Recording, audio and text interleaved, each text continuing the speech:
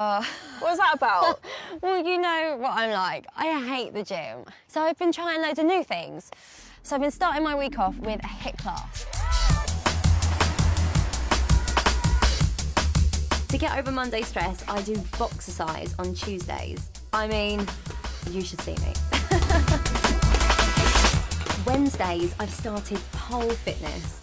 It's great for my abs, but not so good on my back. Thursdays is boot camp day, the worst day of the week. The only pleasure that comes out of it is getting up close and personal with Anthony. Fridays, I go to disco spin class. Yes, it's actually really good fun.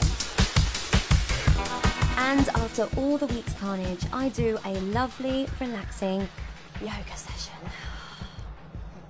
So, what about you? You hide upon your sleep. B. Benson's. Listen, because you look fantastic today, Thanks, I feel proud.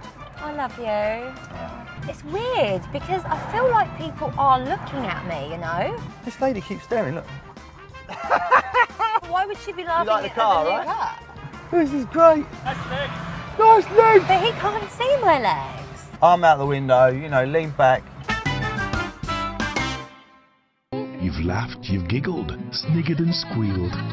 You've bagged yourself those killer heels. A snuggly duvet, a big comfy bed, a soft fluffy pillow to rest your head.